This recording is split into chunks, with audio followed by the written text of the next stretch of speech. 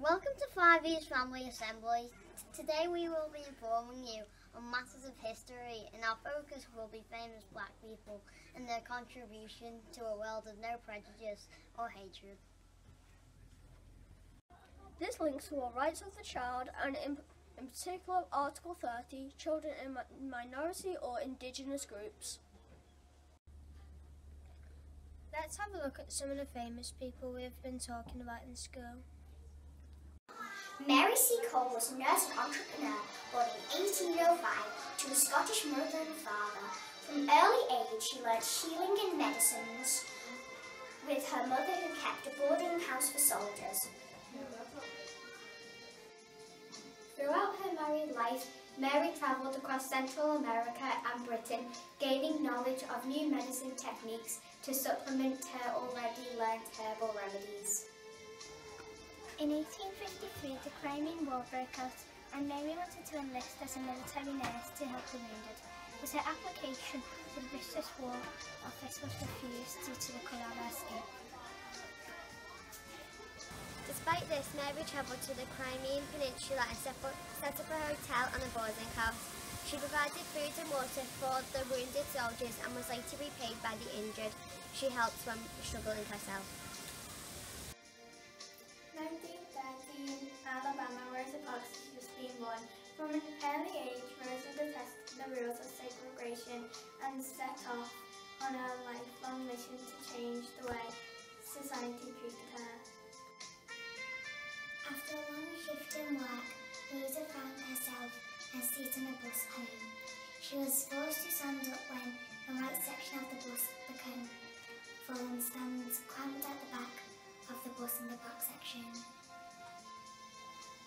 Enough was enough, Rosa refused to give up a seat. She was later arrested and jailed for this incident.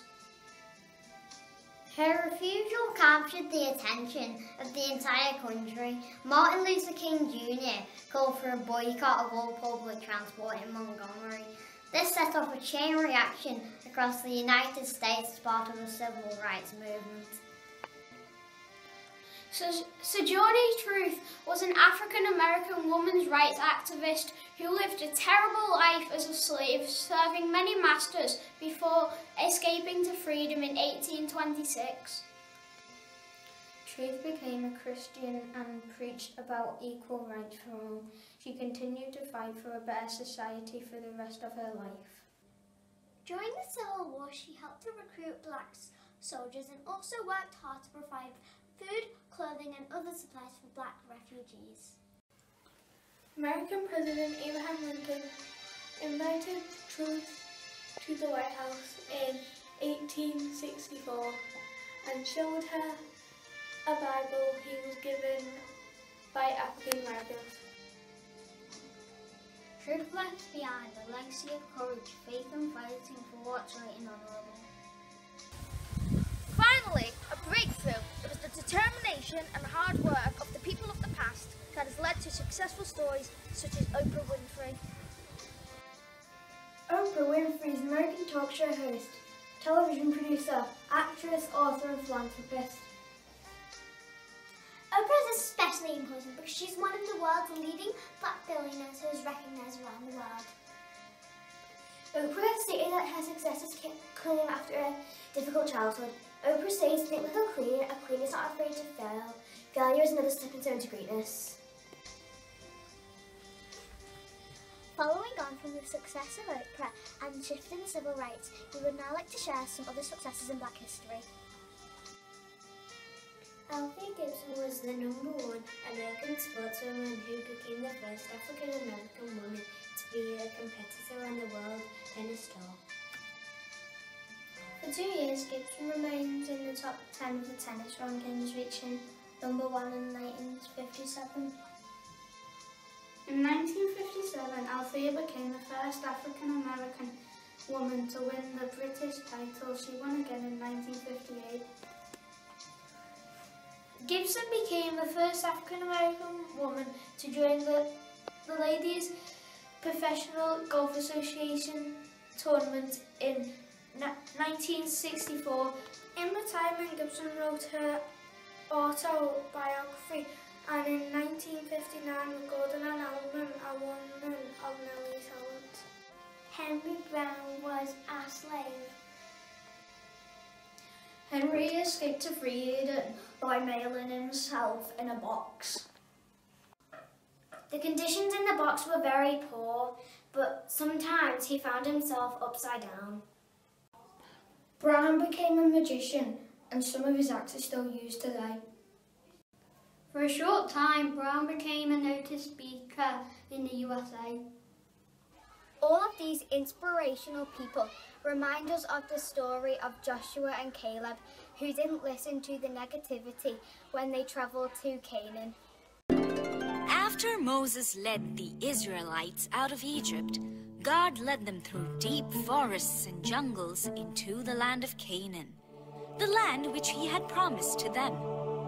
When the whole nation of Israel camped at the edge of the land of Canaan, Moses sent one man from each of the twelve tribes of Israel to go to Canaan and explore Canaan and find out everything about it, as God had commanded.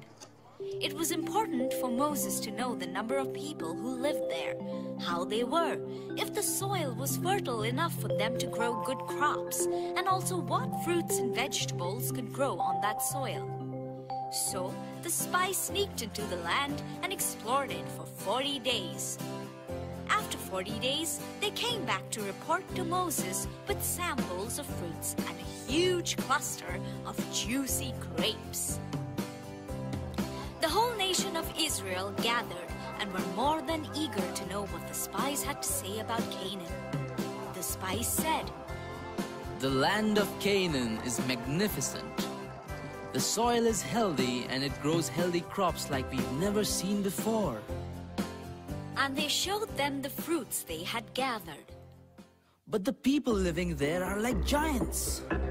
They said, Ten of the twelve spies said, We felt like grasshoppers next to the people of Canaan. They're very strong and powerful, and the city is protected with strong walls. There's hardly any way we could take this land.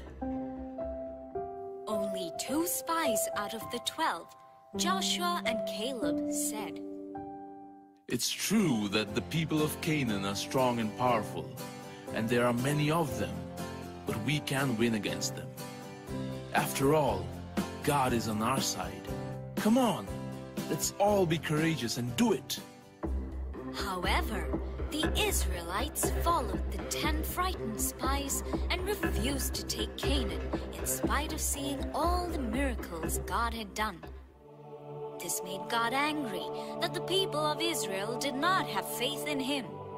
He said that the present generation of Israelites will die before the nation is allowed entry into the promised land. He also said that the whole nation will wander in the forests and the jungles for 40 years. Only Joshua and Caleb will be allowed to enter.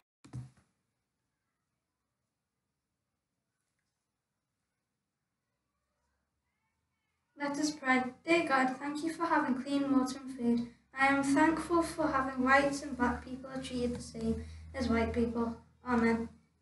Dear Lord, make us thankful, thankful for my friends, family, and talents, thankful for the air I breathe and for my feelings like fear and happiness. Let me live in peace. Thank you. Amen. Dear Lord, thank you for my loving parents and my talents that I- that I've been gifted. Thank you for all the courageous heroes that have lived before me and the people that have changed black, black society. Amen.